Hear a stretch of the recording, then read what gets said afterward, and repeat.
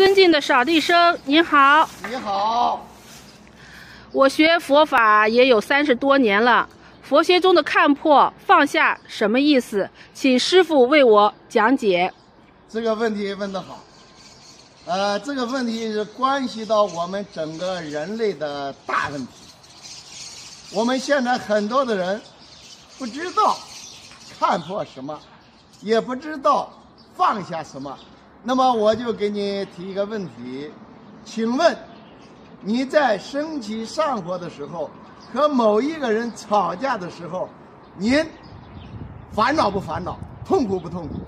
特别的烦恼痛苦，对，你在升起上火以前，烦恼不烦恼？痛苦不痛苦？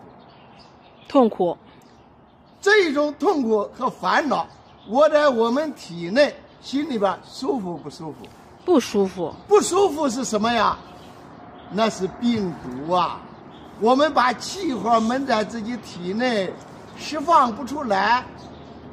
可以说，我们和某一个人生气，已经过去十年、二十年了，这个仇、这个怨恨还活在我们体内，每想起来一次就怨恨一次，对不对？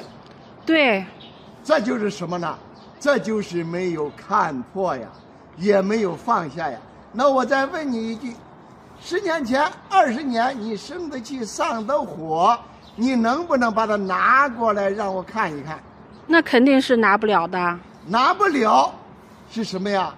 本是一场空啊，本来是假的呀。你为什么一直把它放在自己心上呢？